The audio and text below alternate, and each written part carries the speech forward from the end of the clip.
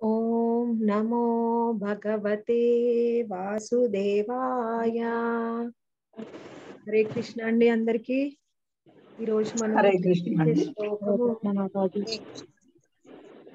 ఇరవై ఐదో శ్లోకం కదా మాతాజీ? ఎస్ మాతాజీ.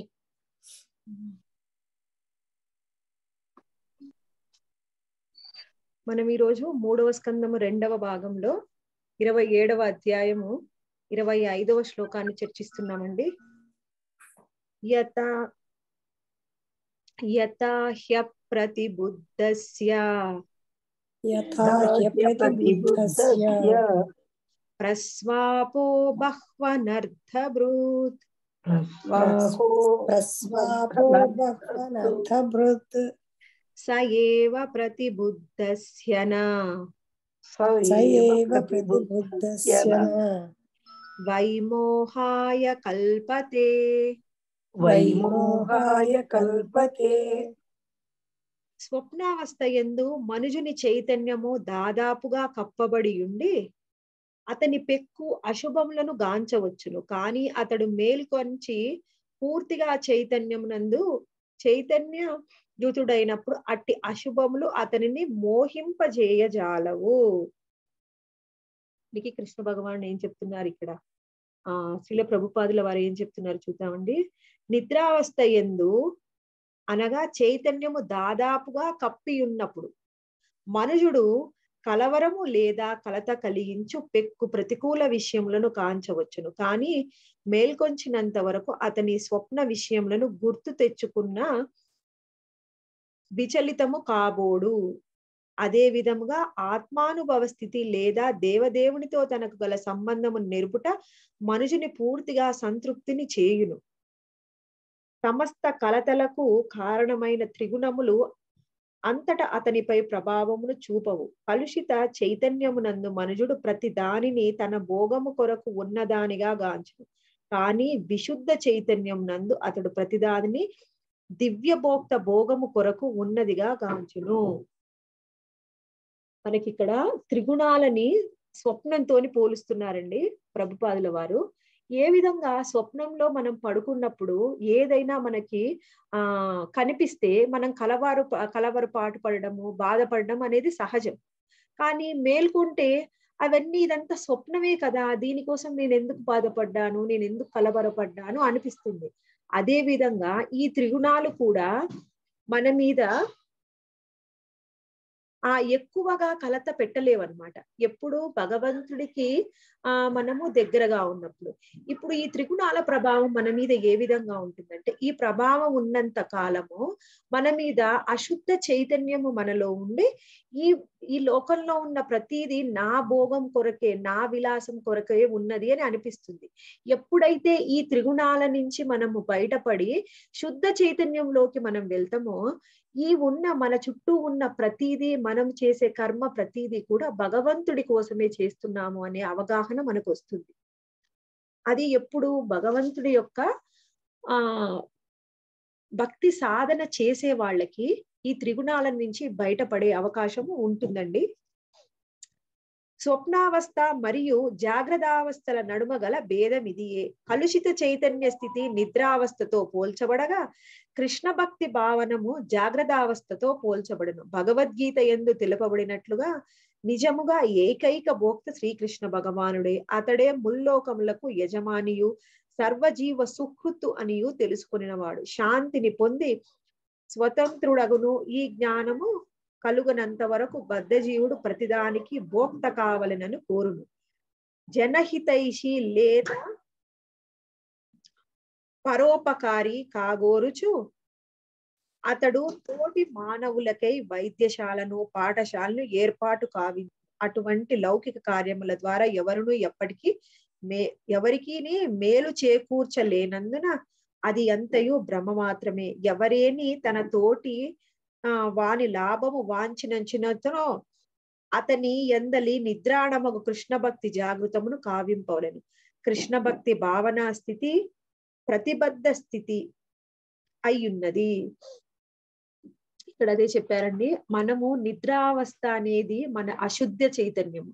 జాగ్రత్త అవస్థ అనేది ఆ మనం కృష్ణ భక్తి భావనలో ఉండడం. ఎప్పుడు మనము నిద్రావస్థలో ఉండకుండా జాగ్రత్త అవస్థలో అంటే ఎప్పుడు మేల్కొనే ఉండాలి. అప్పుడు మనకి ఈ త్రిగుణాల ప్రభావం అనేది ఉండదు. అప్పుడు ఎప్పుడు ప్రభావం లేకుండా ఉంటుందో ఈ మొత్తము ఈ సర్వ లోకాన్ని సృష్టికర్త మళ్ళీ భోక్త భగవంతుడే అనే విషయము మనకు అర్థమవుతుంది. ఈ విధంగా ఎవరినైనా కృష్ణ భక్తి భావనలోకి తీసుకురావడానికి మనం చేసే ప్రయత్నమే అదే సరైన ఆ అదేమవుతుందండి అదే సరైన ఆ దిశ నిర్దేశం అవుతుంది వాళ్ళకి. ఇప్పుడు ఎవరైనా సమస్యల్లో ఉన్నప్పుడు భౌతికంగా వాళ్ళకు ఏదైనా సహాయం చెయ్యాలి అంటే అదేమీ తప్పు కాదు సహాయం చెయ్యొచ్చు. కానీ మీరు స- చేసే సహాయము అది కొంతవరకు మాత్రమే అది కొంత లాభాన్ని వాళ్ళకి ఇవ్వగలుగుతుంది. వాళ్ళకి మీరు పూర్తి లాభాన్ని ఎవరికైనా ఇవ్వాలి అని అనుకున్నారు అంటే వాళ్ళని కృష్ణ భక్తులుగా మార్చండి. కృష్ణ భక్తులుగా ఎప్పుడు మనం వాళ్ళని మార్చగలమో అప్పుడే వాళ్ళకి సరైన ఆ దిశానిర్దేశం చేసి వాళ్ళకి సరైన ఉపకారం చేసినట్టు అవుతుందన్నమాట.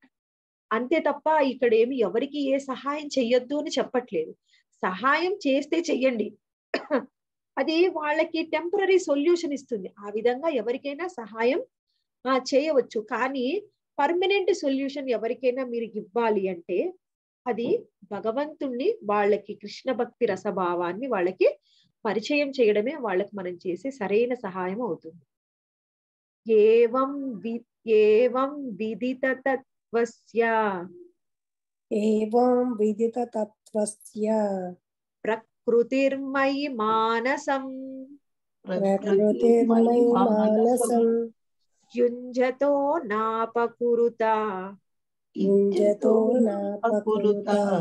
ఆత్మా రామస్య కర్హి చేద్ ఆత్మా రామస్య కర్హి చేత్ జ్ఞానవంతుడైన వాడు లోక కర్మలందు నెలకొనినప్పటికీ ప్రకృతి ప్రభావం అతనికి హాని చేకూర్చజాలదు. పరతత్వపు సత్యము అతడెరిగి ఉండుటయే అందులకు కారణం. అతని మనస్సు దేవుని పైననే లగ్నమై ఉండును. మనము ఎవరైనా భౌతిక కర్మలలో ఆ ఇక్కడ ఏం చెప్తున్నారంటే ఒక భక్తుడు ఒక అభక్తుడు మనకి బయటికి చూడడానికి చూ- చేసే కర్మ ఆ ఒకటే విధంగా అనిపించవచ్చు ఒక భక్తుడైనా ఒక అభక్తుడైనా మార్నింగ్ నుంచి ఆ లేచినప్పటి నుంచి పడుకునే వరకు అదే పనులు చేస్తుంటారు వాళ్ళ విద్యుక్త ధర్మాన్ని నిర్వహించడము ఆ మళ్ళీ ఆ పిల్లల్ని పోషించడము అదే చేస్తూ ఉంటారు. చూడ్డానికి ఒకటే విధంగా అనిపిస్తుంది కానీ దానిలో ఆ కర్మలలో చాలా వ్యత్యాసం ఉంటుంది ఏ విధంగా అంటే ఒక్క నిమిషం మాతాజీ.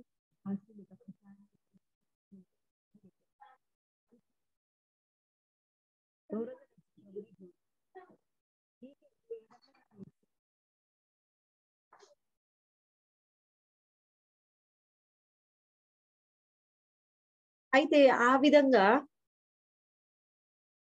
మనము చేసేది ఒకటే విధంగా అనిపించిన పైకి వాళ్ళు చేసే కర్మల్లో వ్యత్యాసం ఉంటుంది. ఇప్పుడు వాళ్ళు చూడ్డానికి బయటికి ఒకటే అనిపిస్తున్నా వాళ్ళకి ఆ భౌతికమైన వాతావరణంలోనే ప్ర ప్రవేశించినా గానీ వాళ్ళ లోపల ఉన్న జ్ఞానము వాళ్ళ చేతనం అనేది శుద్ధంగా ఉంటుందన్నమాట. వాళ్ళు ఏ పని చేసినా భగవంతుడి ప్రీత్యర్థం చేస్తుంటాడు. వాళ్ళు అది మర్చిపోరు. అది మర్చిపోకుండా వాళ్ళు చేసే ఆ కర్మ అనేది ఆ వేరే విధంగా ఉంటుందన్నమాట. అభక్తుల కర్మకి దానికి చాలా వ్యత్యాసం ఉంటుంది అని చెప్తున్నారు. మయి మానస మై మానసం అనగా దేవదేవుని పాదపద్మముల చెంతనే మనస్సు సదా సంలగ్నమై ఉన్నవాడు. అయిన వాడు ఆత్మారామునిగా లేదా విదిత తత్వునిగా పిలువబడు పిలువబడునని కపిల భగవానుడు కలుపుచు ఆ పలుకుచున్నాడు.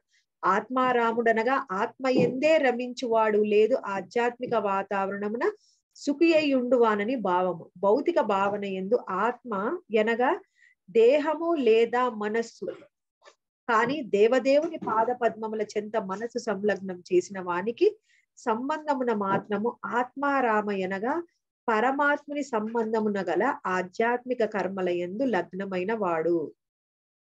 అని భావము. పరమాత్ముడు దేవదేవుడు కాగా వ్యక్తిగతాత్ముడు జీవాత్మ. వారిరువురి నడుమ సేవా బంధము ఏర్పడినప్పుడు జీవుడు ఆత్మారాముని స్థితి ఎందున్నాడని చెప్పబడును. ఇక్కడ ఆత్మారాముడి గురించి వివరిస్తున్నారండి. ఎప్పుడైతే మనం చేసే కర్మ ఏదైనా సరే ఆ కర్మ మనం చేసే కర్మ మన ఆత్మకి ఆనందాన్ని ఇస్తుందో ఆ వాళ్ళని ఆత్మారాములు అంటాము. మనం చేసే కొన్ని కర్మలు కేవలం కొన్ని ఇంద్రియాలకి సంతృప్తినివ్వచ్చు. కేవలం కొన్ని ఆ భౌతికంగా మనకు కొన్ని సుఖ సంతోషాలను ఇవ్వచ్చు. కొన్నేమో భగవంతుడికి ఆ దగ్గర చేయడానికి చేసే పనులు అయి ఉండొచ్చు. ఆ కొన్ని ఆధ్యాత్మిక కర్మలు కొన్ని భౌతిక కర్మలు మనం చేస్తూ ఉంటాం. కానీ ఏదైతే ఆత్మకి ఆనందాన్ని ఇచ్చే పనులు చేస్తామో వాళ్ళనే ఆత్మారాములు అంటాం అనమాట అంటే కేవలము ఆధ్యాత్మిక కర్మలైన ఒక కర్మలాగా ఒక పనిలాగా ఒక కర్మకాండలాగా మన పని చేయడం. అంటే పొద్దున్న లేవడం మంగళహారతి చేయడము దేవుడికి నైవేద్యం పెట్టడం అది నా డ్యూటీ అనుకొని చేస్తే అది ఆత్మకి అంత ఆనందం కలదనమాట అదంతా సాధనా స్థితిలో ఉన్నవాళ్ళు.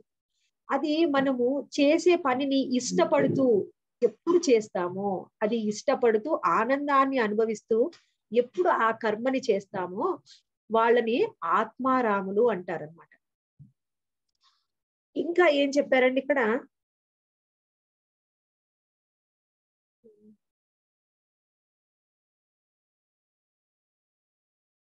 ఆత్మారాముడనగా పరమాత్ముని సంబంధమున గల ఆధ్యాత్మిక కర్మల ఎందు లగ్నమై ఉండేవాడు. అదే కదండి చెప్పుకున్నాం మనం ఇప్పుడు ఇంకా. పరమాత్ముడు దేవదేవుడు కాగా వ్యక్తిగతాత్ముడు జీవాత్మ. వారిరుముడు వారి ఇరువురి నడుమ సేవా బంధము ఏర్పడినప్పుడు జీవుడు ఆత్మారాముడి స్థితి ఎందున్నాడని చెప్పబడును.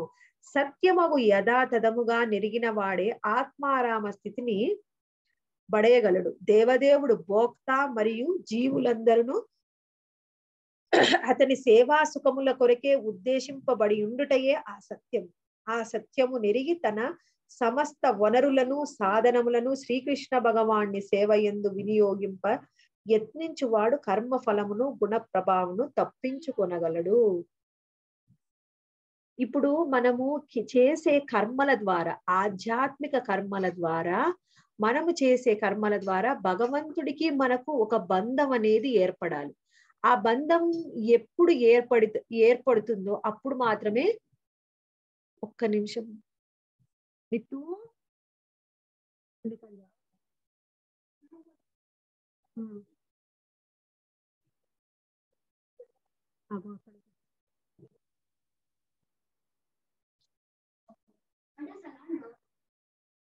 ఆ విధంగా మనము కేవలం కర్మకాండ చేస్తే ఆత్మారాముడి స్థితికి వెళ్ళలేమన్నమాట. కర్మకాండ సాధన ద్వారా మనం ఆత్మారాముడి స్థితికి వెళ్ళినప్పుడే మనము భగవంతుడితో బంధం ఏర్పడినప్పుడే ఆ స్థితికి వెళ్తాం. ఇంకా ఏం చెప్తున్నారండి ఇక్కడ? ఎప్పుడైతే మనము మనకు ఉన్న చుట్టూ ఉన్న ఆ మనకి ఉన్న ఏ భౌతికమైన వనరులైనా ఈ సృష్టి మొత్తము భగవంతుడి కోసమే ఉంది. మనము కూడా ఆయన సేవకులము ఆయన భోక్త ఆయనని ఆనందపరచడానికి ఆయనకు సేవ చేయడానికి ఆయనకు సుఖాన్ని ఇవ్వడం కోసమే మనం ఉన్నామనే సత్యాన్ని మనం గ్రహించాలి. ఇదేందండి ఇట్లా? భగవంతుడి ఆనందం కోసం భగవంతుడి సుఖం కోసం అని చెప్తున్నారు. భగవంతుడు ఇలా చేస్తారా అని మీకేమన్నా సందేహం రావచ్చు? దానికి ఎందుకు భగవంతుడి ఆనందం కోసం చేయాలి? మన ఆనందం కోసం చేస్తే ఏంటి తప్పు? అంటే ఎప్పుడైనా భగవంతుడు నా ఆనందం కోసం చెయ్యి అని చెప్తున్నారు. భగవద్గీత మొత్తం అదే ఉంటుంది మనకి ఎందుకంటే మనము మన ఆనందం కోసం చేస్తాం ఏదైనా పని. అయితే మన ఆనందం కోసం కాకుండా మన ఇంట్లో వాళ్ళ కోసమో పక్కింటి వాళ్ళ కోసమో ఎదురింటి వాళ్ళ కోసమో ఏదైనా పని చేసామనుకోండి. చేస్తే నువ్వు ఎంత చేసినా హండ్రెడ్ పర్సెంట్ మనం ఎవరిని సాటిస్ఫై చెయ్యలేము. ఎంత చేసినా ఎంత పర్ఫెక్ట్గా మనం ఒక భార్య బాధ్యత భర్త బాధ్యత చేసినా ఎవరిని కూడా హండ్రెడ్ పర్సెంట్ మనము సాటిస్ఫై చెయ్యలేము. అందుకని మనము వాళ్ళ కోసము ఏం చేయలేము మన కోసం చేస్తేనేమో మనం బంధాలలో చిక్కుబడిపోతాం. ఎందుకంటే అది మన స్వార్థం అవుతుంది. అక్కడ మన స్వార్థం ఉంది. మరి ఎవరి కోసం చేస్తాం మనం ఏ కర్మైనా? ఎవరి కోసం చేస్తే ఆ ఎవరి ఏ బంధాలలో చిక్కుకోకుండా ఉంటామో ఎవరి కోసం చేస్తే మనము ఆ ఉన్నతంగా ఫీల్ అవుతాం. ఎవరి కోసం చేస్తామండి? ఏ పనైనా. మన ఇంట్లో వాళ్ళకి కాకుండా భగవంతుడి కోసం చేయడానికి ఇష్టపడతాం. ఎందుకంటే ఆయన అన్ని విధాలుగా మనకంటే ఉన్నతుడు. ఏ విధంగా చూసినా ఆయన మనకంటే ఆ ఉన్నతమైన స్థాయిలో ఉన్నాడు. ఆయన అన్ని శక్తి సామర్థ్యాలు తెలుసు. ఆయనకున్న అన్ని ఐశ్వర్యాలు తెలిసిన మనం చర్చించాం.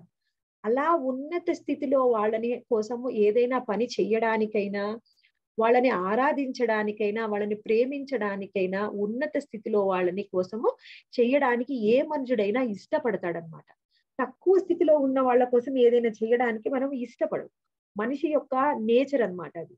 అందుకని భగవంతుడు మనము ఏ బంధాలలో చిక్కుకోకుండా ఉండాలి అంటే నువ్వు నా కోసం చెయ్యి అని చెప్తున్నాడు. అప్పుడు మనము దాని మీద మనకి కోరిక ఉండదు ఆ పని మీద ఆ వస్తువు మీద ప్రేమ ఉండదు. మనకి దానితోని ఏ విధమైన బంధం అనేది ఏర్పడదు. బంధం అనేది లేకుండా సంగత్వం అనేది లేకుండా కర్మను చేస్తామో అప్పుడు మాత్రమే ఆ నిస్సంగత్వంతో ఏ పనైనా ఎప్పుడు చేస్తామో అప్పుడే మనకి ఆ కర్మబంధం అనేది అంటుకోదనమాట అంటుకోకపోతే మనకు పుణ్యము పాపం అనేది రాదు. అప్పుడు మనం భగవద్ధామానికి వెళ్ళడానికి అర్హత సంపాదిస్తాం అనమాట కేవలం నా కోసం చేయండి నా కోసం చేయండి అని భగవంతుడు చెప్తున్నా అంటే అందులో కూడా ఆయన స్వార్థం ఏమీ లేదు. అది కూడా మన కోసమే చెప్తున్నాడు. ఈ సందర్భమున ఒక ఉదాహరణ ఇట్లు చెప్పుకొనవచ్చును. లౌకికుడు ఒక పెద్ద నిఘంటు ఆ నింగినంటు మేడ నిర్మించుటలో నెలకొన్నట్లు భక్తుడు ఒక పెద్ద విష్ణు మందిర నిర్మాణంను నెలకొని ఉండను. నింగినంటు మేడను నిర్మించువాడు మరియు మందిర నిర్మాత బాహ్య దృష్టి ఎందు ఒకే స్థాయిలో ఉన్నట్లు గోచరించును. ఏలైనా ఇరువురును ఒకే రీతిగా కలపను రాయిని ఇనుమును ఇతర నిర్మాణ వస్తువులని సేకరించుతుందరు కానీ నింగిన నింగిని చుంబించిన నవ నిర్మాణము కా కావించువాడు లౌకికుడు కాగా విష్ణు మందిర నిర్మాణం కావించువాడు ఆత్మారాముడు. పెద్ద భవంతి నిర్మించుట ద్వారా లౌకికుడు తనను తాను సంతృప్తి పరుచుకొనిన యత్నించును. కానీ భక్తుడు మాత్రము మందిర నిర్మాణం ద్వారా పరమాత్మని సంతృప్తి పరుప యత్నించును. ఆ రీతి ఇరువురును లౌకిక కలాపములతో సంపర్కము కలిగిన వారే అయినను భక్తుడు ముక్తుడై ఉండగా లౌకికుడు బద్ధుడై ఉండును. మనము ఎవరైనా ఒక లౌకికుడు ఆయనకున్న ధనంతోని ఒక పెద్ద ఇల్లుని కట్టుకుంటే పెద్ద పెద్ద భవంతులు కడుతున్నారు కానీ ఇప్పుడు. అదే విధంగా ఒక భక్తుడు విష్ణు మందిరాన్ని కడుతున్నాడు. ఇద్దరు కూడా డబ్బునే వెచ్చిస్తున్నారు ఇద్దరు అదే సామాగ్రిని తెస్తున్నాడు. ఆ లౌకికుడేమో ఆయన సుఖం కోసం కట్టుకుంటున్నాడు. ఈయననేమో ఆ విష్ణు మందిరాన్ని కడుతున్నాడు అనమాట అంటే భగవంతుడి ప్రీత్యర్థం చేస్తున్నాడు. అంటే మీరు ఇది చదివిన తర్వాత అంటే మాతాజీ మేము ఇల్లు కూడా కట్టుకోకూడదా అనేవన్నా అనుకోకూడదండి. ఇల్లు కట్టుకోవడంలో ఏం తప్పు లేదు కట్టుకోవచ్చు. కాకపోతే మనం ఇల్లు కట్టుకునేటప్పుడు కూడా మన ఆలోచన విధానం ఏ విధంగా ఉండాలి అంటే నేను ఆ ఇప్పుడు నేను ఇల్లు కట్టుకుంటున్నాను. ఎందుకంటే ఆ నేను సర్వైవ్ అవ్వడానికి ఇల్లు కట్టుకోవాలి. దానికి ముందు మనము మన ఇంటిలో భగవంతుణ్ణి ప్రతిష్ట చేసి ఈ ఇల్లు ఆ ఆ భగవంతుడిది. ఎట్లా అంటే ఇప్పుడు మనము కొంతమంది ఏమో జగన్నాథ విగ్రహాలు కొంతమంది గౌరనితాయి విగ్రహాలు తెచ్చుకుంటారు. విగ్రహాలు లేదండి మా దగ్గర ఫోటోనే ఉంది అంటే ఫోటో అయినా పర్లేదు. మనము ఇల్లు వాళ్ళ ఇల్లులో మనం ఉంటున్నామని భావించాలి. ఇది జగన్నాథుడి ఇల్లు జగన్నాథుడి ఇంట్లో జగన్నాథ భక్తులమైన మేము ఉంటున్నాం. ఇది జగన్నాథ మందిరం అనుకోవాలి మనసులో. అంటే జగన్నాథుడి ఇల్లు ఇంటికి పేరేం పెట్టుకోవాలని? జగన్నాథ జగన్నాథ గృహం.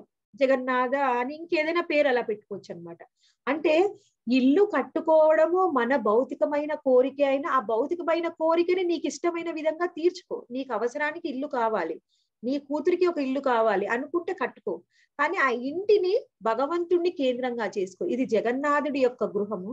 జగన్నాథ గృహంలో నాతోటి ఆ వైష్ణవులు అంటే నా పిల్లలు నా భర్త నాతోటి ఉన్న వాళ్ళని కలిసి నేను ఈ గృహంలో జీవిస్తున్నాను. జీవిస్తూ నేను ఆ జగన్నాథుడి సేవలో సంలగ్నమై ఉంటాను అనే భావనతోని మనం ఇల్లు కట్టుకున్నా అది విష్ణు మందిరం కట్టుకున్న దాంతోనే సమానం అవుతుందన్నమాట. అందుకని మనం చేసే ప్రతి పనిలో మనం భగవంతుణ్ణి సెంటర్గా చేసుకోవాలి. ఇప్పుడు ఇల్లు కట్టుకున్నా అదే విధంగా ఆలోచించాలి. ఇంక ఏ పని చేసినా భగవంతుణ్ణి సెంటర్గా చేసుకోవాలి. మనం ఇంట్లోకి ఏదైనా కొత్త వస్తువు అది యుటెన్సిల్సే కానివ్వండి బట్టలే కానివ్వండి ఆ ఇంట్లోకి ఏ వస్తువు తీసుకొని మనం వచ్చినా కానీ దాన్ని భగవంతుడికి ఆఫర్ చేసిన తర్వాతనే తులసి వేసి ఆఫర్ చేసిన తర్వాతనే మనం ఆ వస్తువుల్ని ఉపయోగించుకోవాలన్నమాట. అప్పుడు మనకి ఆ వస్తువులతోని అటాచ్మెంట్ అనేది రాదు. భగవంతుడికి ఎప్పుడు ఆఫర్ చేస్తామో మనము ఆ అటాచ్మెంట్ నుంచి దూరం అవుతాం అనమాట కానీ భక్తుడు మాత్రము మందిర నిర్మాణం ద్వారా పరమాత్ముని సంతృప్తి పరప యత్నించును. ఈ రీతి ఇరువురును లౌకిక కలాపములతో సంపర్కము కలిగిన వారి అయినను భక్తుడు ముక్తుడై ఉండగా లౌకికుడు బద్ధుడై ఉండును. మందిరమును నిర్మించు భక్తుడు తన మనస్సుని దేవదేవుని పైననే సంలగ్నము చేయగా పెద్ద భవంతిని నిర్మించు భక్తి రహితుడు మాత్రం తన మనసుని ఇంద్రియ భోగం పైనే నిలిపి ఉండుట అందులకు కారణం. అనగా భౌతిక అస్తిత్వం నందున్నప్పటికీ ఏ కార్యమైనను దేవదేవుని పాద పద్మముల పైననే మనసుని నిలిపి నిర్వహించినచో మనుజుడు బద్ధుడు కాబోడు. పూర్ణ కృష్ణ భక్తి భావన ఎందు భక్తి నొనరింప వాడు సర్వదా ప్రకృతి ప్రభావమునకు పరుడై ఉండును. ఆ విధంగా మనము చేసే ప్రతి కర్మలో భగవంతుడి భక్తుడిగా మనం చేయడం వలన ఈ భౌతిక ప్రకృతికి మనము ఆ భక్తులము కాకుండా కృష్ణ భక్తి రసభావంలో కర్మల్ని చేయడం వలన ఈ భౌతిక ప్రకృతి ప్రభావంకి మనం పరంగా ఉంటాం. అంటే భౌతిక ప్రకృతి ప్రభావంకి అవతల ఉంటాం అన్నమాట. దాంట్లోకి బంధింపబడకుండా ఉంటాము అని మనం ఈ శ్లోకం ద్వారా తెలుసుకోవచ్చండి. ఇరవై ఏడవ శ్లోకము. యదైవా మధ్యాత్మరత. యథైవ మధ్యాత్మరతః. కాలేన బహుజన్మనా. కాలేన బహుజన్మనా. సర్వత్ర సర్వత్ర జాత వైరాగ్య.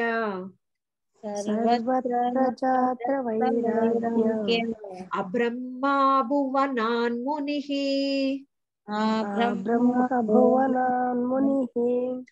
ఆ విధంగా అతడు పె- పెక్కేళ్ళు జన్మలు భక్తియుత సేవ ఎందు మరియు ఆత్మానుభవం నందు నెలకొనినప్పుడు బ్రహ్మలోక పర్యంతము ఆ ఏ లోకమందలి భోగముకైనను పూర్తిగా విరక్తుడగును. చైతన్యము పూర్తిగా వికాసము నొందిన వాడగును. ఆ విధంగా మనము భక్తియుత సేవలో నిమగ్నమై ఆ విధంగానే మనము కర్మలు చేస్తూ ఉన్నంత కాలము అంటే సాధనలో ఉంటే ఆ విధంగా కర్మలు భగవంతుడి ప్రీత్యర్థం కోసం కర్మలు చేస్తూ ఉన్నంత కాలము అప్పుడు మనము ఆత్మానుభవ స్థితిలో మనం నెలకొని ఉంటాం. ఆ విధంగా ఉన్నప్పుడు మనము ఈ లోకమే కాదు బ్రహ్మలోకంలోని ఏ వి ఏ విధమైన విషయాలని సుఖాలని చూపించినా గానీ వాళ్ళ వాటి మీద కూడా ఆ వాళ్ళకి శ్రద్ధ అనేది ఉండదన్నమాట. వాటిని కూడా కావాలి అని అనుకోరు. ఆ విధంగా ఎప్పుడైతే ఆ వాళ్ళు ఆ భోగాలన్నిటిని వదిలేస్తారో అప్పుడు వాళ్ళ చైతన్యం పూర్ణంగా వికాసం నందును. అప్పుడు ఆ విధంగా భక్తి సాధనలో సాధకుడు కృష్ణ భక్తి భావనలోనే నిరంతరం కర్మలు చేస్తూ ఉంటే ఏ విధమైన కోరికలు లేకుండా బ్రహ్మలోకంలో ఉన్న ఆ ఆ సుఖాలని కూడా స్వర్గలోక సుఖాలని కూడా కోరుకోకుండా ఎప్పుడు ఉంటాడో అప్పుడు వాళ్ళ చైతన్యం పూర్తిగా వికాసం నొందును అని చెప్తున్నారు. దేవదేవుని భక్తి యందు నెలకొలిన వాడైనను భక్తుడనియే తెలియబడును. కానీ విశుద్ధ భక్తులకు మరియు మిశ్రమ భక్తుల నడుమ భేదము కలదు. భగవద్ధామమున పూర్ణమగు జ్ఞానానందముతో నెలకొడిన ఆధ్యాత్మిక ప్రయోజనమునకై మిశ్రమ భక్తుడు భక్తి ఎందు నెలకొలును. భౌతిక అస్తిత్వమున అతడు పూర్ణముగా పవిత్రుడు కానప్పుడు భగవాను నుండి భౌతిక లాభమును అనగా భౌతిక క్లేశముల నుండి ఉపశమనమును వాంఛించును. లేదా భౌతిక సంపత్తిని జీవేశ్వరుల సంబంధ విషయపు జ్ఞానము జ్ఞానమున వికాసమును లేదా భగవానుని నిజతత్వ జ్ఞానమును తెలుసుకున్న కోరును. మనుజుడు వీటన్నిటికీ పరుడైనప్పుడు విశుద్ధ భక్తునిగా పిలువబడును. ఈ విశుద్ధ భక్తుడికి మిశ్రమ భక్తికి భేదం చెప్తున్నారండి. ఈ విధంగా భక్తి సాధన ప్రారంభించిన దశలో మనకు భౌతికంగా ఎన్నో సమస్యలు ఉంటాయి. ఆ సమస్యలకి ఆ ఆ సమస్యలకి మనము పరిష్కారాన్ని లేకపోతే మనకున్న సమస్యలు తీరిపోవాలని మనకి ఎన్నో ఆ కోరికలు అనేవి ఉండి వాటన్నిటిని భక్తియుత సేవ చేస్తూ వాటిని తీరాలి అని కూడా మనం కాంక్షిస్తూ ఉంటే వాళ్ళు మిశ్రమ భక్తులు అవుతారు. కేవలము ఆ ఇంకేం చెప్తారండి? భక్- భౌతిక సంపత్తిని జీవేశ్వరుల సంబంధపు జ్ఞానాన్ని తెలుసుకొని ఆ జీవుడికి ఈశ్వరుడికి ఉన్న సంబంధం ఉన్న జ్ఞానాన్ని మనం తెలుసుకొని మనము ఈ శాస్త్రాల ద్వారా గురువు ద్వారా భగవంతుడి యొక్క నిజతత్వాన్ని ఎప్పుడు తెలుసుకొని సాధన చేస్తూ ఉంటాము. ఈ మిశ్రమ భక్తులు నిజ భక్తుడిగా భగవంతుడి యొక్క శుద్ధ భక్తుడిగా మారిపోతాడనమాట అట్టివాడు ఏదో ఒక భౌతిక లామును బడేయుట కొరకు లేదా భగవాని అవగతం చేసుకునుట కొరకు భక్తి కార్యమున నెలకొనడు. భగవత్ ప్రేమయే అతనికి గల ఏకైక రుచి. ఆ దేవదేవుని సంతృప్తి పరుచుట ఎందే అతని స్వతసిద్ధముగా నెలకొనును. నెలకొను అప్పుడు వాళ్ళు ఏం కోరుకున్నారండి విశుద్ధ భక్తులు అంటే భగవంతుడి యొక్క ప్రేమ తప్పించి ఇంకా వాళ్ళు ఏమీ కోరుకోరన్నమాట. భగవంతుణ్ణి ఎప్పుడు ప్రేమించడం తప్ప ఇంకా వాళ్ళకి ఏది కావాలి అనేది ఉండదు. అనన్యాశ్చింతయంతో మాం. ఎప్పుడు భగవంతుణ్ణే స్మరిస్తూ ఉంటారన్నమాట వాళ్ళు. విశుద్ధమగు భక్తికి బృందావన మందలి గోపికలే మహత్తర ఉదాహరణము. కృష్ణుని అవగాహన చేసుకొనుట ఎందుగాక కేవలం అతని ప్రేమించుట ఎందే వారు అనురక్తులై ఉండిరి. ఆ ప్రేమ స్థితియే విశుద్ధమగు భక్తిమయ స్థితి. భక్తి యోగపు ఈ విశుద్ధ స్థితికి పురోగమించనంత వరకు మనుజుని ఎందు ఉన్నత స్థానమునకు ఎదగవలెనని కోరిక నిలిచియుండును. మిశ్రమ భక్తుడు దీర్ఘాయువుతో ఇతర లోకములందు ఉదాహరణకు బ్రహ్మలోకము సుఖమయ జీవనమును భోగింప కోరును ఇవన్నీయును భౌతిక కోరికలే. అయినను మిశ్రమ భక్తుడు భగవత్ సేవలో నెలకొనియుండును. కనుక పెక్కు జన్మల భౌతిక భోగము పిదప నిస్సందేహముగా నిజభక్తి భావనకు వృద్ధిపరుచుకొను అట్టి కృష్ణ భక్తి భావనపు లక్షణమేమనగా అతడు ఇక ఏ మాత్రము ఉన్నత జీవనమునందు అభిరుచిని కలిగి ఉండడు. బ్రహ్మదేవుడి వంటి ఉన్నత వ్యక్తి కావాలననియు అతడు వాంఛింపడు. ఇక్కడ చెప్తున్నారండి.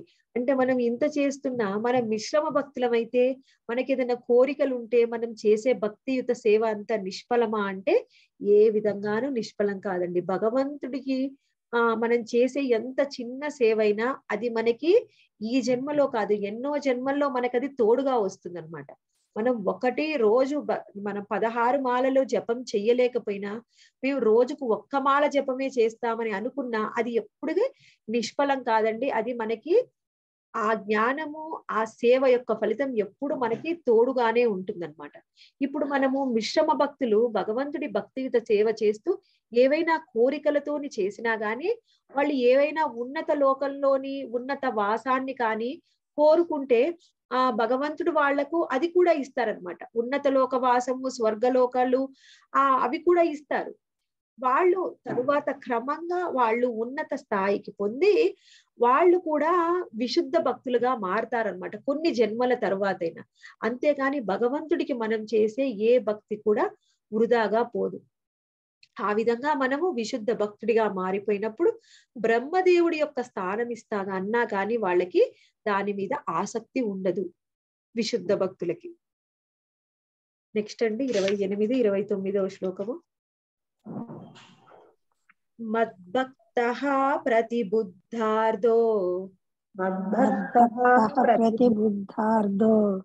మత్ప్రసాదేన భూయాస. प्रसादेन भूयसा।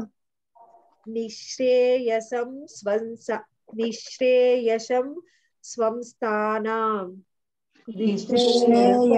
स्वसंस्थानम्। कैवल्याख्यं मदाश्रयं कैवल्याख्यं मदाश्रयं प्राप्नो प्राप्नोति हाञ्जसा धीरः।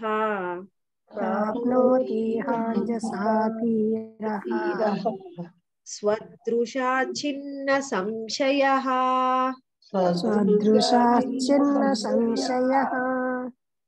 यद्गत्वा न निवर्तेत।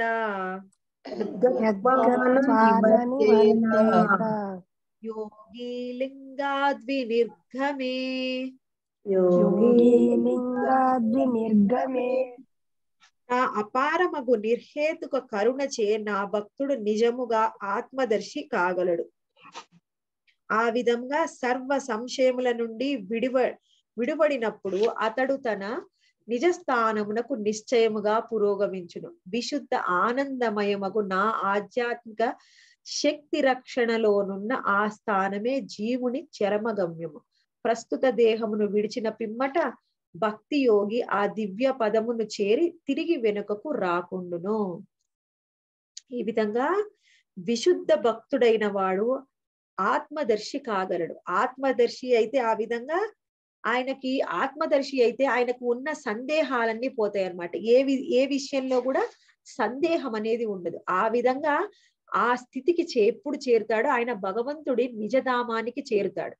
ఆ విధంగా ఆయన ఆ నిజధామంలో విశుద్ధ ఆనందంలో ఎప్పుడు భగవంతుడి యొక్క ఆధ్యాత్మిక రక్షణలో ఉన్న స్థానం అన్నమాట అది. ఆ స్థానానికి చేరుకుంటాడు. ఒకసారి ఆయన ఆ స్థానానికి చేరుకున్నాయనక ఇక తిరిగి రాడు రావలసిన అవసరం కూడా లేదన్నమాట.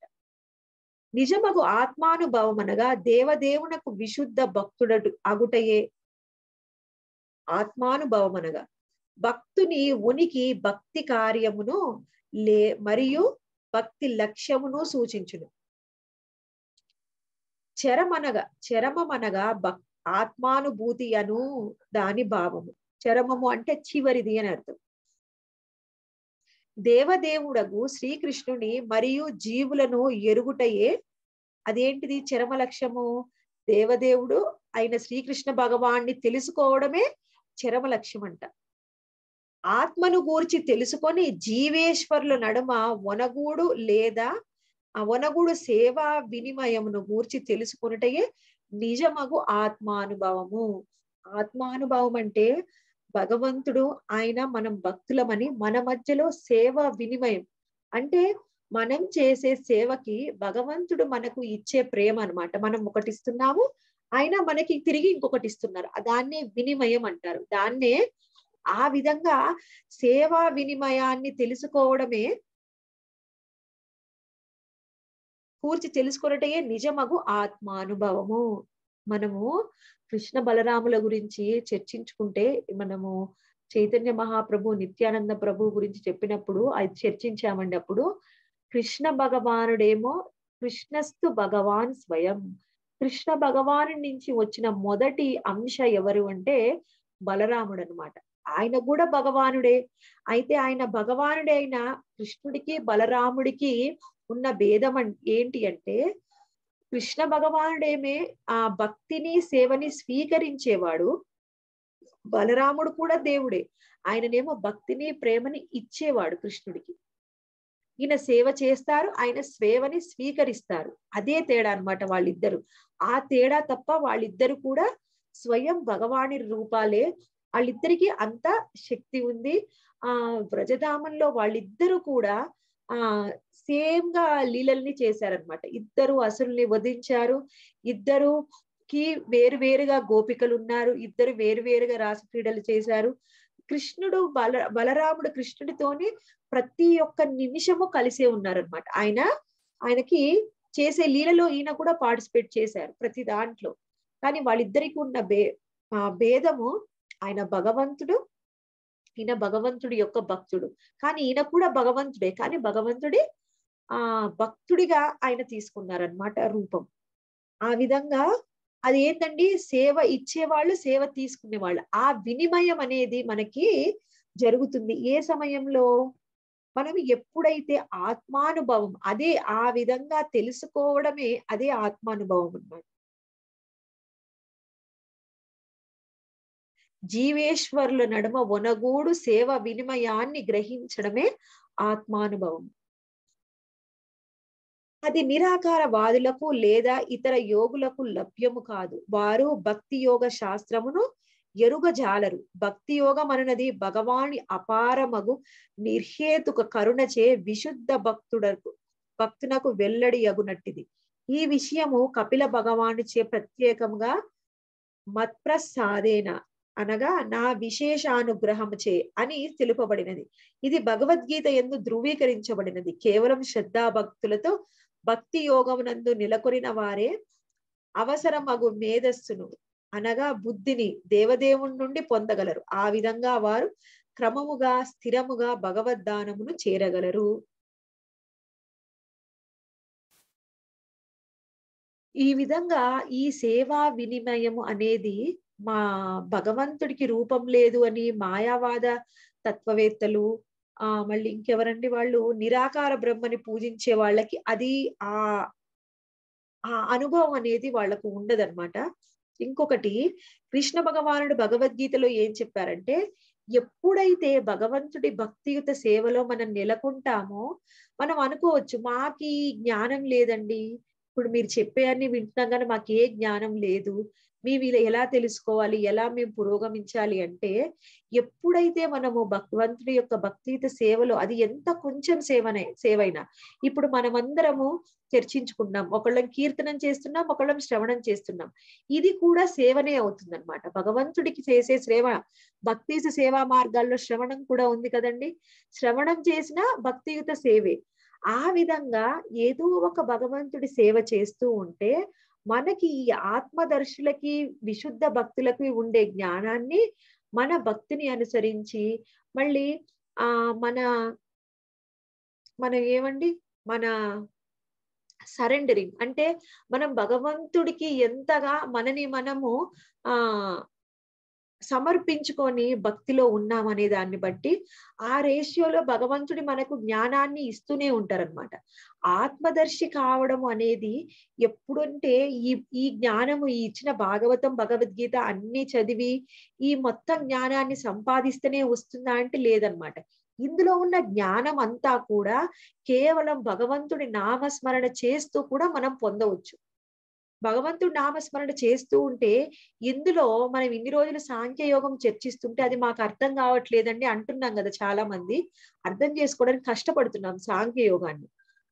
అయితే ఈ సాంఖ్యయోగం ఏ విధంగా అర్థమవుతుంది అంటే మన మనసుకి దేవుడు ఆ జ్ఞానాన్ని ఇవ్వగలరనమాట మనం ఎంత భగవంతుడి భక్తిలో నెలకొని ఉంటే ఆ జ్ఞానం పొందాలి అని అంటే మనం భక్తియుత సేవతోని ఆరంభించాలి. అప్పుడు సేవ చేసినప్పుడే ఈ జ్ఞానం అనేది మనకి తొందరగా అవగతం అవుతుంది అనమాట నిశ్రేయస్ నిశ్రేయస అనగా చరమగమ్యమని భావము నిరాకారవాదులకు ఒక ప్రత్యేక స్థానము లేదని స్వసంస్థాన అను పదము సూచించుచున్నది. నిరాకారవాదులు తమ వ్యక్తిత్వమును త్యాగము చేసి దేవదేవుని దివ్య దేహము నుండి బహిర్గతముకు నిరాకార తేజమునందు లీనమగుదురు.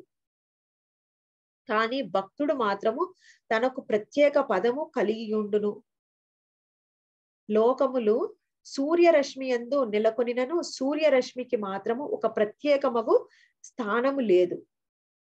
జీవుడు ఏదేని లోకమునకు చేరినప్పుడు అచట అతనికి ఒక వాసస్థానం ఉండును కానీ కైవల్యమని పిలువబడు ఆధ్యాత్మిక ఆకాశం మాత్రము అన్ని దిక్కుల నుండి వెలుగుతో నిలియుండును. అది దేవదేవుని రక్షణ ఎందున్నట్టిది. ఇదే విషయము భగవద్గీత ఎందు బ్రాహ్మణోహి ప్రతిష్ఠా ప్రతిష్టాహం అనగా నిరాకార జ్యోతి తే జ్యోతిపై ఆధారపడి ఉండును అని తెలుపబడింది. అనగా శ్రీకృష్ణ భగవానుని దేహ ప్రాంతియే కైవల్యము లేదా నిరాకార బ్రహ్మం అని పిలువబడును.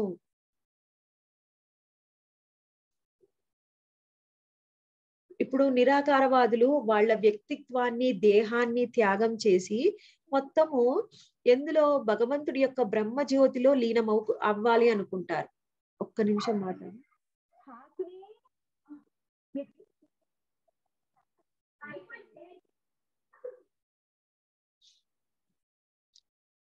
మనం ఆ బ్రహ్మజ్యోతిలో లీనం అవ్వాలి అని కోరుకుంటారు. ఈ బ్రహ్మజ్యోతి అనేది ఎక్కడి నుంచి వచ్చిందండి? భగవంతుడికి ఆ భగవంతుడి యొక్క శరీరం నుంచి వచ్చే వెలుగే ఆ బ్రహ్మజ్యోతి అని అదే మొత్తం బ్రహ్మాండం అంతా నిండి ఉందని మనం భగవద్గీతలో చాలా సార్లు చర్చించాం. ఆ విధంగా వాళ్ళు బ్రహ్మజ్యోతిలో లీనం అవ్వాలి అని ఆ కోరుకుంటారనమాట ఆ జ్యోతిలో లీనమైనప్పుడు వాళ్ళకంటూ స్పెషల్ సిగ్నిఫికెన్స్ అనేది ఏమీ ఉండదు.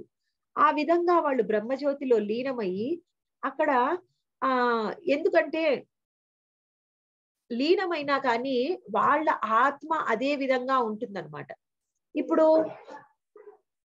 ఎంతో కాలము వాళ్ళు అదే విషయాన్ని కొనసాగించలేరు. ఎందుకంటే వాళ్ళకి అక్కడ ఏ విధమైన ఆ నిర్లిప్తంగా ఉండడం తప్ప అక్కడ వాళ్ళకి ఏదైనా ఒక ఆ కార్యము అనేది ఏమీ ఉండదు అక్కడ. అందువల్ల అది ఎక్కువ రోజులు అక్కడ ఉండడానికి వాళ్ళు ఇష్టపడగా చివరికి వాళ్ళు మళ్ళీ అక్కడి నుంచి పతనమయ్యి మళ్ళీ వేరే లోకాల్లోకి ఆ రా వేరే లోకాల్లోకి వస్తారనమాట అది సరైన ముక్తి అనేది కాదు.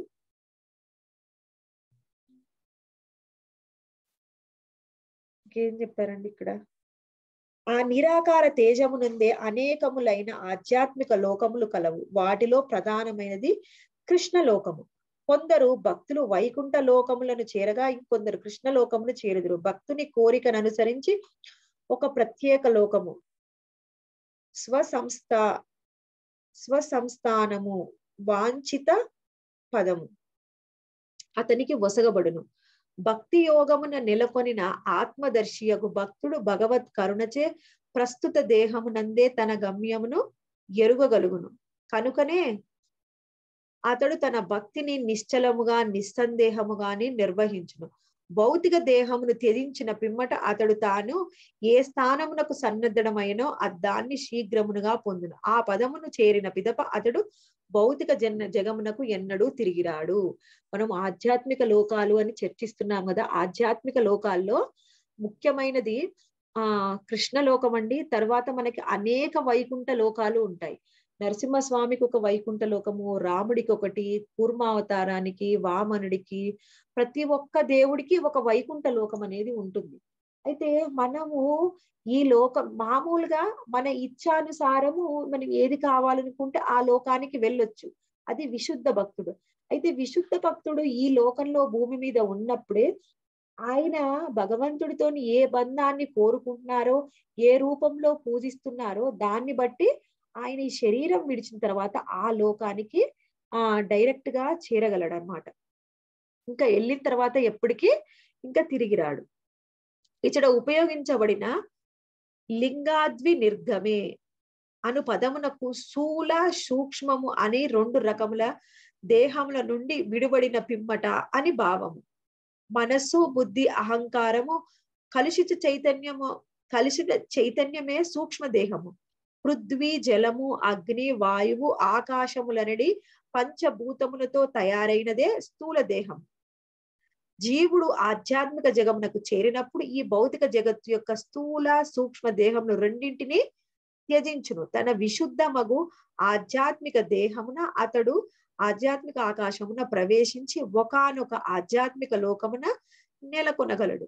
స్థూల సూక్ష్మ దేహములను త్యజించి నిరాకారవాదులు కూడా అట్టి ఆధ్యాత్మిక ఆకాశం చేరినప్పటికీ ఆధ్యాత్మిక లోకమునందు మాత్రము ప్రవేశించబోరు. తాము కోరినట్లు వారు భగవానుని దివ్య దేహపు తేజమునందు లీనమగుచుందురు. ఇచట స్వసంస్థానం అను పదము కూడా ప్రధానమైనది. జీవుడు ఏ పదమునకు తనను తయారు చేసుకొనుచునో ఆ స్థానమునే అతడు పొందును. నిరాకారవాదులకు నిరాకార బ్రహ్మజ్యోతి ప్రధానము చేయబడగా వైకుంఠ లోకమునందు నారాయణుతో లేదా కృష్ణలోకము శ్రీకృష్ణుడితో సాంగత్యమును పొందగోరు వారు మాత్రము పునరావృత్తి రహితమును తల్లోకములకు చేరుదురు. ఇక్కడ ఇప్పుడు మనము ఒక జీవి యొక్క దేహం ఏ విధంగా తయారవుతుందండి ఒక సూక్ష్మ దేహము స్థూల దేహం యొక్క కలయికే ఒక జీవి యొక్క దేహం సూక్ష్మ దేహంలోనేమో మనసు బుద్ధి అహంకారముతో పాటుగా కలుషిత చైతన్యం కూడా కలిసి ఉంటుంది. అది కలిస్తేనే దాన్నే స్థూల దేహం అంటాం. ప్రతి ఆత్మ మళ్ళీ ఇంకొకటి ఏంటంటే సూక్ష్మ దేహము. మళ్ళీ సూక్ష్మ దేహము అంటే మనసు బుద్ధి అహంకారము కలుషిత చైతన్యం కలిస్తే సూక్ష్మ దేహము స్థూల దేహం అంటే ఈ భౌతికమైన పంచభూతాలు. ఆ భూమి నీరు ఆ అగ్ని గాలి మళ్ళీ ఆకాశం. ఈ పంచభూతాల కలయికతోనే స్థూల దేహం అనేది తయారవుతుంది. ఈ రెండిటి కలయికే దేహము. మామూలుగా మనము భగవద్ధామం చేరే అర్హత లేకపోతే స్థూల దేశ దేహాన్ని ఇక్కడే విడిచిపెట్టి సూక్ష్మ దేహాన్ని తీసుకొని ఆత్మ ఇంకొక శరీరాన్ని ఆవహిస్తుంది అనమాట ఇంకొక శరీరాల్లోకి వెళుతుంది. కానీ మనం భగవద్ధామం చేరే విశుద్ధ భక్తి ఆ భక్తి చేసి భగవద్ధామం చేరే అర్హత పొందినప్పుడు మనం రెండింటినీ విడిచేస్తాం అనమాట స్థూల దేహాన్ని సూక్ష్మ దేహాన్ని తీసుకోకుండా కేవలం ఆధ్యాత్మిక దేహాన్ని తీసుకొని కేవలము ఆత్మ మాత్రమే మనకు భగవద్ధామానికి చేరుకుంటుంది. ఆ భగవద్ధామానికి చేరాలనుకునే వాళ్ళు వాళ్ళ కోరికల్ని అనుసరించి చేరుతారు. బా మరి బ్రహ్మజ్యోతిలో కలి కలిసిపోవాలి అనుకునే వాళ్ళు భగవంతుడి యొక్క ఆ వెలుగులోనే కలిసిపోతారనమాట హరే కృష్ణ.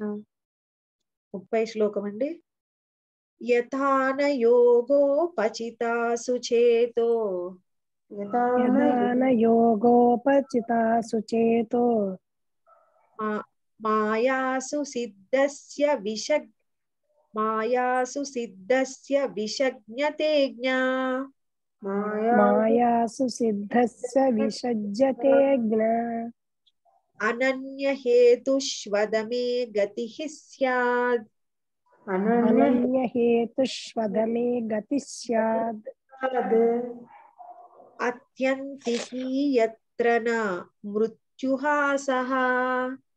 ఆత్యంతికి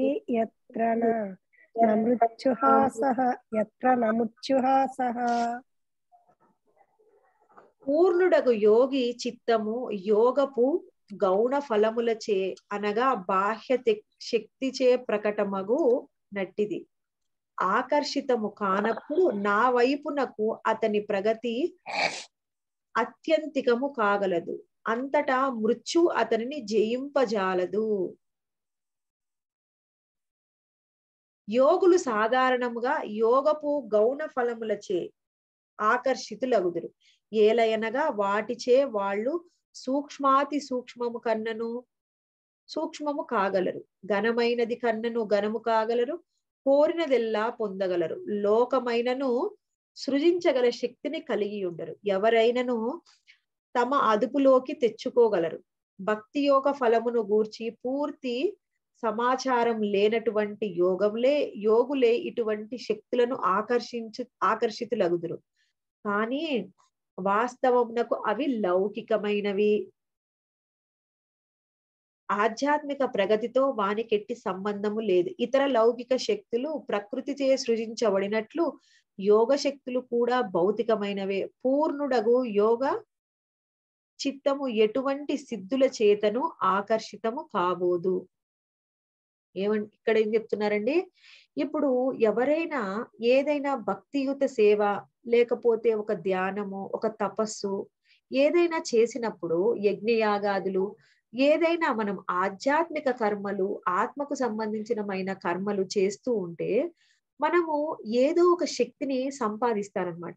ఇప్పుడు భగవంతుడి భక్తి అనేది మనము ఈ శాస్త్ర జ్ఞానాల్ని తెలుసుకోకుండా ఏది సరి అయిన జ్ఞానమో మూల జ్ఞానాన్ని తెలుసుకోకుండా ఇప్పుడు మనకి ఈ లోకంలో చూసుకుంటే చాలా ఆ శాస్త్రాలు చాలా జ్ఞానము అందుబాటులో ఉన్నాయండి. సరి అయిన జ్ఞాని ఆ జ్ఞాని నుండి సరి అయిన గురు పరంపరలో మనము జ్ఞానాన్ని అభ్యాసం చెయ్యకపోతే ఏం చేస్తామంటే ఇలాంటి విషయాలకి ఆ ఎవరికి మన వాళ్ళ దగ్గర ఏదో ఒక శక్తిని సంపాదించి నలుగురి ముందు ప్రదర్శించాలని ఈ విధంగా శక్తిని సంపాదించడమే చాలా గ్రేట్ అని అనుకోవడము. అసలు మనము అందరికంటే ఉన్నతంగా ఏదో ఒక శక్తిని కలిగి ఉండడమే అదే భక్తి అనుకోవడము. అంటే అసలు భక్తి అంటే ఏంటి అనే సరైన డెఫినేషన్ అనేది వాళ్ళకి తెలియదు అనమాట ఎందుకంటే సరి అయిన విధానంలో వాళ్ళు జ్ఞానాన్ని పొందలేదు. పొందకుండా మెడిటేషన్ చేస్తే మనకు కొన్ని మిస్టిక్ పవర్స్ వస్తాయని.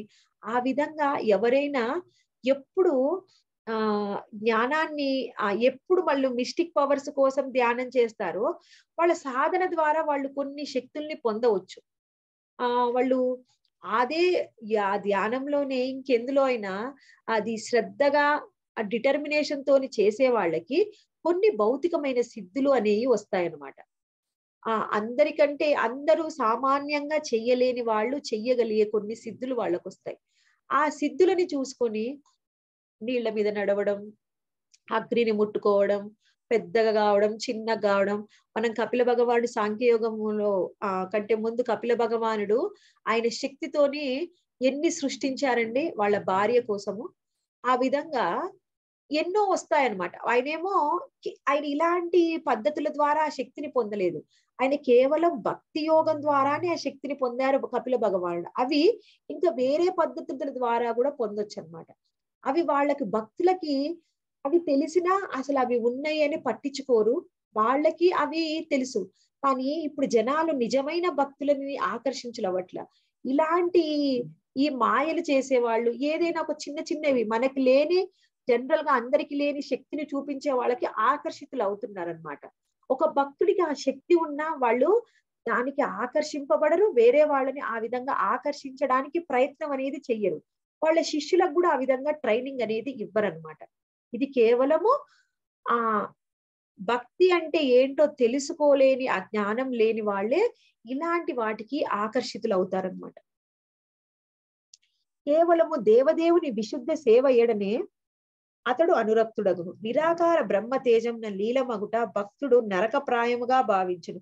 ఇంద్రియ నిగ్రహమునకు అవసరమగు యోగ శక్తి అనగా ప్రాథమిక యోగ సిద్ధి అతనికి అప్రయత్నముగా లభించును. ఉన్నత లోక ప్రాప్తిని అతడు కేవలం ఆకాశ పుష్పముగా తలుచును. అతని అవధానమంతయు కేవలం కృష్ణ భగవాన్ని శాశ్వత ప్రేమయుత సేవ కొరకై పైననే కేంద్రీకృతమై ఉండును. కనుక మృత్యువు అతనిపై ఏమాత్రము ప్రభావము చూపజాలదు. అటువంటి భక్తి యోగ స్థితి ఎందు పూర్ణుడగు యోగి నశ్వరము కానటువంటి జ్ఞానానంద పదమును బడయును. ఇక్కడ ఒక భక్తుడు ఏ విధంగా ఉంటాడంటే అలాంటి శక్తులకి ఆకర్షితుడు కాకుండా ఉంటాడు. ఇంకా ఎప్పుడు కూడా నిరాకార బ్రహ్మాన్ని కో కావాలని కోరుకోడు. అది ఒక నరకప్రాయంగా ఉంటుందన్నమాట. నిరాకార బ్రహ్మం అనేది. అది ఆ జ్ఞానాన్ని తెలుసుకోకుండా సర సరిగా ఆ నిరాకార బ్రహ్మ తేజమే నిజమైన భగవంతుడు అనుకునే వాళ్ళు ఆ విధంగా అందులో లీనం అవ్వాలనుకుంటారు ఇంకా ఇప్పుడు ఈ విధంగా ఏ విధంగా నువ్వు భక్తియుత సేవ కాకుండా ఇంకా ఏదైనా ఒక పద్ధతిలో నువ్వు ఆ భగవంతుడిని చేరుకోవాలి అని అనుకుంటే నీకు ఇంద్రియాల మీద నిగ్రహం తెచ్చుకోవడం అనేది కష్టం అన్నమాట. ఎన్ని రోజులు నువ్వు వేరే ఏ సాధన చేసినా ఇంద్రియ నిగ్రహం సాధించడం కష్టం. దానికి మనకు ఆ ముఖ్యమైన ఉదాహరణ విశ్వామిత్రుడు మళ్ళీ విశ్వామిత్రుడు ముఖ్యమైన ఉదాహరణ అండి ఎన్ని చేసినా ఆయనకి ఇంద్రియ నిగ్రహం రాలేదు. ఇంకొకటి దూర్వాస మహర్షి మళ్ళీ అంబరీష మహారాజు చరిత్రలో కూడా చూస్తాం. ఆయన కేవలం భక్తి యోగంలో ఆయనకి ఎంది ఎంత ఇంద్రియ నిగ్రహం వచ్చింది అంబరీష్ మహారాజు ఆయన ఈయననేమో యోగి. ఆయన సన్యాసి యోగి అయినా కానీ ఈయనకు అంత రాలేదు దుర్వాస మహామర్షి మునికి ఇంద్రియ నిగ్రహం అనేది. ఇంద్రియ నిగ్రహము భక్తులకి ఎంతో సులభంగా వచ్చేస్తుంది అనమాట మనం భక్తిలోకి వెళ్తే మన స్థాయి మనం అసలు మనం భక్తులమా అభక్తులమా? మన స్థాయి ఎంత ఉంది? మనం ఇంతకు ముందు ఎలా ఉన్నాం? ఇప్పుడు ఎలా ఉన్నాం? మనలో ఏమైనా ఇంద్రియ నిగ్రహం వచ్చిందా అని మనని మనం చెక్ చేసుకుంటే మనము భక్తులు ఎంత పురోగతి చెందాము అనేది కూడా మనకి అర్థం అవుతుంది అనమాట అది వాళ్ళకి ఈజీగా వస్తుంది. ఇంకొకటి ఉన్నత లోకాలని కూడా వాళ్ళు ఆశించరు భక్తులు. ఉన్నత లోక వాసం అనేది ఒక ఆకాశ పుష్పంగా అనిపిస్తుందంట. అది అనవసరమైనది అందుకోలేనిది అని అది అసలు మనకు అనవసరమైనది లాగా కనిపిస్తుంది అనమాట ఆకాశం అనేది ఆకాశ పుష్పం అనేది వాళ్ళకి. ఇంకా శ్రీకృష్ణ భగవానుడు శాశ్వత ప్రేమయుత సేవ కొరకే వాళ్ళు ఎప్పుడూ ఆలోచిస్తూ ఉంటారు. మృత్యువు అతనిపై ఏమాత్రమూ ప్రభావం చూపజాలదు. మృత్యువుకి అసలు వాళ్ళు భయపడరు. మృత్యువు ఉన్నా లేకపోయినా వచ్చినా రాకపోయినా వాళ్ళకి ఏ ఏ విధమైన ఆ తేడా అనిపించదనమాట నేను ఇక్కడున్నా భగవంతుడి సేవ చేస్తా అక్కడికి వెళ్ళినా సేవ చేస్తా అనే భావనలో ఉంటారు. మృత్యువు ఆ జన్మ అనే వాళ్ళకి తేడా అనేది ఉండదు. అటువంటి భక్తి యోగ స్థితి ఎందు పూర్ణుడగు యోగి నశ్వరము కానటువంటి జ్ఞానానంద పదమును బడయును. ఆ విధంగా భక్తుడు అంటే ఎప్పటికీ తరిగిపోని జ్ఞానానందాన్ని ఆయన పొందగలడనమాట యోగి. భగవద్ధామంలో పూర్ణమైన నశింపు కానటువంటి జ్ఞానాన్ని ఆ విధమైన భక్తి యోగి పొందగలడు. హరే కృష్ణ మాతాజీ. ఏమన్నా ప్రశ్నలు ఉన్నాయా మాతాజీ ఈరోజు? కామేశ్వరి మాతాజీ లేట్గా జాయిన్ అయ్యారు. చెప్పాను మాతాజీ. కొంచెమే మిస్ అయ్యాను. ఓకే మాతాజీ. మాతాజీ వాళ్ళ క్లాస్ చాలా చాలా బాగుంది మాతాజీ. అసలు వింటుంటే అట్లే వినాలనిపిస్తా ఉంది మాతాజీ. మాతాజీ మనం ఇవాళ ఏం తెలుసుకున్నామంటే భక్తుడు అభక్తుడి కర్మలు ఎలా ఉండాలి ఎలా ఉండొచ్చు అని. అంటే కర్మలో వ్యత్యాసం ఉంటుంది. అంటే భక్తులు భగవంతుణ్ణి ఏ విధంగా అంటే ఏ, విధంగా స్వీకరిస్తారు అని. ఆత్మారాముడు గురించి తెలుసుకున్నామంటే ఆత్మారాముడు అంటే ఆనందాన్ని అనుభవిస్తూ పనిచేసే వాళ్ళు అనమాట వాళ్ళ అలాంటి స్థితికి మనమందరం కూడా వెళ్ళగలగాలి అని. అంటే కొన్ని పనులు ఇంద్రియాలను ఆనందం కలిగిస్తూ చేస్తూ ఉంటారన్నమాట వీళ్ళు ఆత్మారాములు. మనం చేసే పనుల ద్వారా అంటే మనకి భగవంతునికి ఒక బంధం ఏర్పడుతుంది. ఆ బంధం ఏర్పడేలాగానే మనం చేయాలి అని. అంటే మనకు ఆయననే సుఖం కోసం ఆ చేయాలి. మనం ఆయన కోసం ఆనందం కోసమే పని చేయాలి. ఆయన అంటే దేవాది దేవునికి సుఖం కోసమే చేయాలి. ఆయన ఆనందం కోసమే చేయాలి. అది కూడా భగవద్గీతలో మనం ఎన్నోసార్లు చర్చించుకున్నామని. అంటే భగవంతుడు చెప్తాడు నా కోసం చేయండి నా కోసం చేయండి. అంటే భగవంతుని కోసం చేస్తే ఆయనకు కాదు లాభం వచ్చేది మనకే. భగవద్ మనమే భగవద్ధామానికి వెళ్తాము. కర్మ ఫలాల నుండి మనమే దూరంగా ఉంటాము. మనకు మంచి చేయాలనే భగవంతుడు ఈ విధంగా కర్మలన్నిటిని కూడా నా కోసం చేయమని చెప్తున్నాడని తెలుసుకున్నాము. అదే విధంగా భక్తుడు లౌకికుడికి ఉన్నటువంటి వ్యత్యాసాలు తెలుసుకున్నాము. భక్తుడు ఎప్పుడు కూడా ఏదైనా ఉదాహరణకి వన్ విష్ణు మందిరంతో భగ భక్తుడు ఆనందిస్తే లౌకికుడు ఆయన కోసం చేసుకున్న భవంతిలో ఆనందిస్తాడు అని తెలుసుకున్నాం. అంటే ఇప్పుడు భక్తుని గురించి కొన్ని వివరించారు. అంటే మనం కూడా ఏదైనా చేసినా పనులు ఇల్లు కట్టిన ఏదైనా కానీ ఆయన కోసమే అని చేస్తే మనం కర్మలకు దూరంగా ఉంటాము. అటాచ్మెంట్ అనేది మనకు ఉండదు అని అందుకోసమే ఆయన కోసం కర్మలు చేయాలనుకున్నాము. ఇంకా ఏ ఎలా ఉంటాడు ఒక భక్తుడు అంటే ఆయన భక్తుడు కాబట్టి భౌతిక ఆ- ఆత్మారాముడు కాబట్టి భౌతిక ప్రకృతి ప్రభావం ఆయనకు ఉండదు. ఆయన బద్ధుడుగాడు ఏ భోగంలో కూడా ఆయన లొంగడు. చైతన్యం పూర్తిగా వికాసం పొందుతుంది ఆయనలో. భక్తుల్లో భగవంతుని ప్రేమ తప్ప ఆయన ఇంకా ఏమీ కోరుకోడు. ఎప్పుడు కూడా ఆయన భగవంతుని స్మరిస్తూ ఉంటాడు భక్తుడు అని తెలుసుకున్నాము. అదే విధంగా ఆత్మదర్శనం కావాలంటే మనము అయినప్పుడు మాత్రమే మనం నిజధామానికి చేరుకోగలుగుతాము. ఒక్కసారి మనం నిజధామానికి వెళ్తే మళ్ళీ తిరిగి రాలేమని తెలుసుకున్నాము. అన్- అంటే భక్తి కార్యాలే వాళ్ళకి ఎక్కువ లక్ష్యం లక్ష్యం ఏంటి భక్తునికి అదొక్కటే అని అన్నాము. అయితే మిశ్రమ భక్తులు ఉన్నారు కదా వాళ్ళు కూడా చేస్తున్నారు కదా అయితే వాళ్ళకి భగవత్ ప్రేమనే అనేది లే కొంచెమే చేసినా కానీ ఆ ఫలం కూడా నిష్ఫలం కాదు. అది కూడా మనకి ఆ ఫలం కూడా ఎప్పుడో ఏదో విధంగా లభిస్తుంది అని తెలుసుకున్నాము. అయితే మన చరమ లక్ష్యం మాత్రం భగవంతుని చేరమే చేరడమే. అది కాకుండా ఇవాళ నిజమైన ఆత్మానుభవం ఆత్మ ఆత్మానుభవ రూపం అంటే కూడా తెలుసుకున్నాము. అందుకే ఎగ్జాంపుల్గా కృష్ణుడు బలరాముడు. ఎప్పుడు కృష్ణుడి యొక్క రూపం బలరాముడు అయినా కానీ సేవ చేసేవాడు సేవను స్వీకరించేవాడు. బలరాముడు సేవనిస్తాడు స్వీకరించేవాడు దేవుడు. ఇలా సేవ ఇచ్చే వాళ్ళను తీసుకునే వాళ్ళనే సేవా వినిమయం అంటారు. ఇది చాలా ఇంపార్టెంట్. మనం కూడా అలాగే భగవంతునికి ఇస్తూ తీసుకుంటూ ఉండాలి అనేసి అనుకున్నాము. అదే విధంగా ఇంకా ఏం తెలుసుకున్నామంటే జ్ఞానం. మనం ఏవన్నీ గ్రంథాలు శాస్త్రాలు చదవకపోయినా కానీ భగవత్ సేవ చేయడం ద్వారా కూడా మనకి జ్ఞానాన్ని పొందవచ్చు అని తెలుసుకున్నాము. అయితే ఇక్కడ కొంచెం నిరాకారవాదుల గురించి వాళ్ళు కేవలము బ్రహ్మజ్యోతిని మాత్రమే వాళ్ళు నమ్ముతారు. ఆ బ్రహ్మజ్యోతి ఎక్కడి నుండి వచ్చింది? భగవన్ నుండే వచ్చింది. ఆ నిరాకారవాదులు ఆ బ్రహ్మజ్యోతిని కోరుకుంటారు. అంటే అక్కడ ఆత్మ అనేది వేరే విధంగా ఉంటుంది. అంటే వాళ్ళు వేరే వే పతనమైనప్పుడు వేరే లోకాలకు వెళ్తారు కానీ భగవంత్ ధామానికి వెళ్ళలేరు. ఎవరు? నిరాకారవాదులు అని తెలుసుకున్నాము. అదే విధంగా ఇక్కడ వైకుంఠ లోకాలు అంటే కూడా చాలా రకాలైనటువంటి వైకుంఠ లోకాలు ఉంటాయి. విశుద్ధ భక్తుడు ఎప్పుడైతే ఏ విధంగా అయితే ఆయన భక్తి చేసి ఏ విధంగా అయితే భగవంతుని కోరుకుంటాడో అది తరి- తిరిగి ఆయన అలాంటి వైకుంఠ లోకానికి వెళ్తాడు కానీ మళ్ళీ తిరిగి రాడని తెలుసుకున్నాము. అదే విధంగా స్థూల సూక్ష్మ దేహాల యొక్క కలయికనే మనం శరీరం. అయితే ఎవరైతే మంచి భక్తులు ఉంటారో శుద్ధ భక్తులు ఉంటారో వాళ్ళు ఈ రెండింటిని విడిచి ఆత్మకు మాత్రమే వెళ్తారు. అయితే నిరాకారులు నిరాకారవాదులు మాత్రం బ్రహ్మజ్యోతిలోనే ఉంటారని తెలుసుకున్నాము. అందుకనే ఆత్మ ఆధ్యాత్మిక కర్మలు ఎప్పుడైతే చేస్తామో అది మనకు ఒక రకమైనటువంటి శక్తిని ఇస్తుందని తెలుసుకున్నాము. ఇంకొకటి ఏంటంటే నిజమైన భక్తులు ఇక్కడ మృత్యుతో భయపడరు. వాళ్ళకి అసలు మృత్యు అంటేనే ఎలాంటి భ- భయము ఉండదు అని తెలుసుకున్నాము. భక్తుడు ఎప్పుడు కూడా ఆ, జ్ఞానవంతుడు అవుతాడని తెలుసుకున్నాం మాతాజీ. హరే కృష్ణ. హరే కృష్ణ మాతాజీ. ఏమైనా ప్రశ్నలు ఉన్నాయా మాతాజీ? మాతాజీ నాకు ఒక చిన్న సందేహం మాతాజీ. మీరు అన్నారు కదా ఇప్పుడు నరసింహస్వామికి ఒక రకమైన ఒక వైకుంఠము రామునికి ఒక వైకుంఠం అని అలా అన్నప్పుడు ఇప్పుడు మరి అందరం వైకుంఠం అంటే కృష్ణ లోకం వెళ్ళిన వాళ్ళకి ఎలా ముక్తి దొరుకుతుంది? అలా నరసింహస్వామి వైకుంఠానికి వెళ్ళిన వరకు ఎలా ఉంటుంది?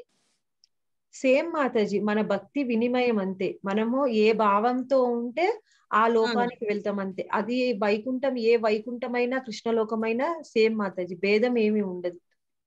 ముక్తి దొరుకుతుంది కానీ వైకుంఠ వాసం మాత్రం వేరు వారి వారికి చెందినట్టు. అవును మాతాజీ. హరే భగవద్ ధామానికి చేరుకుంటాం. అదే మనం ముక్తిగా భావిస్తాం. హరే కృష్ణ. హరే కృష్ణ. చాలా ఇంపార్టెంట్ అనిపించింది ఏంటంటే మాతాజీ ఇప్పుడిప్పుడే భక్తి అంటే ఏంటి? అసలు భగవంతుడు ఎలా ఉంటాడు? దేవాది దేవుడు ఎలా ఉంటాడు? మనం కర్మలు ఎలా చేయాలి అని ఇప్పుడిప్పుడు తెలుసుకుంటున్నాం కదా మాతాజీ. ఎప్పుడు ఒక రకమైన సందేహం ఉండేది.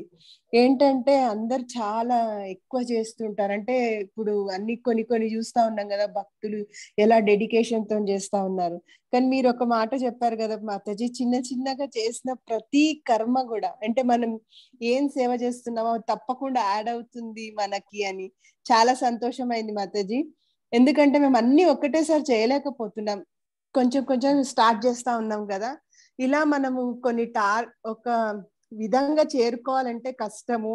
ఎలా అప్ప మనం శ్రీకృష్ణ దేవుణ్ణి మనం ఎట్లా చేసుకోగలుగుతాము? మన భక్తిని ఎట్లా అయినా చూడగలుగుతాడు? అన్నందుకు ఇవాళ చాలా ఆన్సర్స్ దొరికిపోయినాయి మాతాజీ. మనము ఎలాంటివి చదివి అర్థం చేసుకొని శాస్త్రాలన్నిటిని కూడా మనం తెలుసుకోకపోయినా ఏదో విధంగా చిన్నగా భక్తి స్టార్ట్ చేసినా అది ఎప్పటికైనా ఫలితం ఉంటుంది అని చెప్పారు కదా మాతాజీ. అవును మాతాజీ. కరెక్ట్ అండి. కామేశ్వర మాతాజీ గారు అడిగినట్టు నేను కూడా ఎప్పుడు అనుకుంటాను చాలా ఆర్భాటంగా పూజలు చేస్తారు ఇంట్లో. ఎవరైనా తాంబూలానికి పిలుస్తారు కదా చాలా పూలు తెచ్చి చాలా డెకరేషన్ చేసి చాలా చేస్తారు. మనం అలా చేయలేకపోతున్నాము. నాకెందుకు అంత ఆర్భాటంగా నచ్చదు. నేను ఎందుకు ఇలా అయిపోతాను? నేను చేసే తప్పేమో అని నాకు చాలా అనిపించేది నాకు కూడాను. కానీ ఇప్పుడు ఇది వింటున్న తర్వాత మనసు పెట్టి మనం ఏం చేసినా కానీ కొంచెం చేసినా కానీ అది ఎక్కువ ఫలితాన్ని ఇచ్చుద్ది. మనసే ముఖ్యం మనసుతో చేయటమే ముఖ్యం ఆర్భాటం కాదు అని అర్థమైంది అవును ఆ, మాతాజీ మాతాజీ. ఆర్భాటం అంటే